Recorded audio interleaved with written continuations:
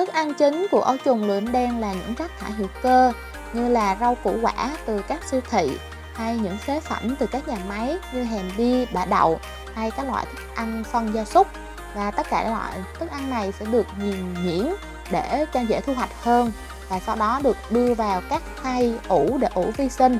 Thì khi ủ vi sinh thì từ 4 đến 7 ngày để giúp xử lý mùi hôi của thức ăn và bảo quản thức ăn được lâu hơn. Đây là thức ăn sau khi ủ vi sinh và sau đó sâu sẽ ăn sẽ mau lớn hơn. Và đây là một hệ thống mà dây chuyền hiện đại nuôi sâu bằng khay, nuôi theo kiểu công nghiệp. Với một mét vuông sẽ thu được từ 100 kg ấu trùng.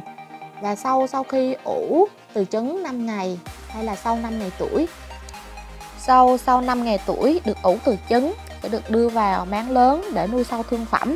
Sâu được nuôi từ ngày thứ 12 đến ngày thứ 15 sẽ được thu hoạch sau khi sau à, 6 ngày tuổi tinh khối khô sẽ được sàng sàn thu hoạch bằng cách sàn phân.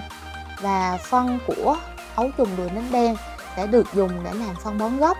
Còn thịt hay là con ấu trùng đuôi đen thương phẩm sẽ được dùng để làm sản xuất dịch axit amin dành cho vật nuôi và cây trồng à, sau được đưa vào trong máy rửa. Và sau đó đưa lên một hệ thống băng truyền và tách nước và tách bã ra.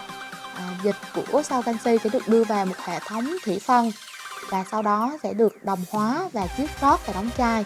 Sản phẩm của, từ axit amin sẽ có hai dòng sản phẩm.